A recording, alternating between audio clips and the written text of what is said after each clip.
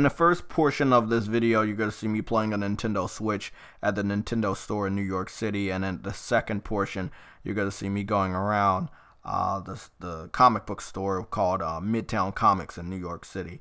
Uh, I've got a brand new game. As you guys know, I'm, I'm a big wrestling fan, but I don't like buying the new versions of these wrestling games. But I did go out and support this developer, uh, Fire Pro Wrestling World. I had to buy this game. Um, the customizations are off the chart, and it has a very good system for the community to download and upload wrestlers and content, including ring intros, uh, wrestling curtains, arenas, and I'm very, very happy uh, that this game was made because I'm not a big fan of paying for season passes and DLC packs for new characters and stuff when you can just make it. Uh, so I had to go out and support this game. I already got it day one by me.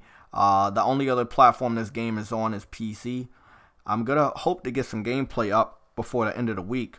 Um, it's also gonna be on the Twitter poll that I do every week, uh, Thursdays, uh, to feature a new game for the PlayStation Legion podcast. Uh, with that being said, uh, the downgrades. Uh, one thing I noticed is that everybody's just played the Spider-Man demo at these different events that are even going on right now as I speak. No one is seeing a visual downgrade from their experience playing the game. It's the promotion trailers, and we don't know which build the promotion trailers are showing off. Um, there has not been any confirmation uh, if there's a different build being promoted uh, compared to the ones that we saw at E3.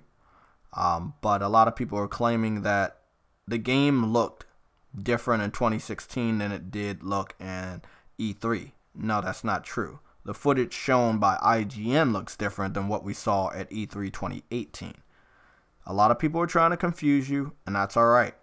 There's a lot of jealousy, there's a lot of hate, and we're going to meet that with facts. That's the only way that we can meet it.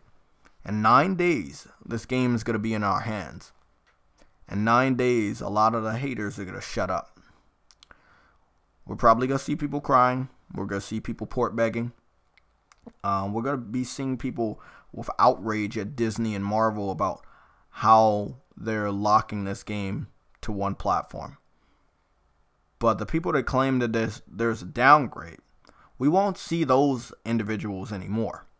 When we have the games in our hands and we're showing off these photo mode images and in-game uh, screenshots and and then you you have these videos out here that will be out here all next week, you know it's you're not gonna see those individuals.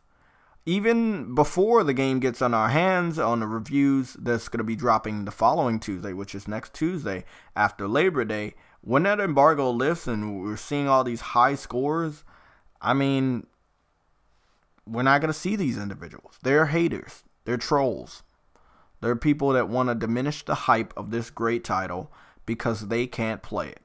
And we should always expect these individuals. We saw these people come out near God of War and Horizon Zero Dawn and Detroit Become Human and Uncharted 4, always screaming about a downgrade. But once the game comes out, and most of the titles I named have photo mode, then they're nowhere to be found.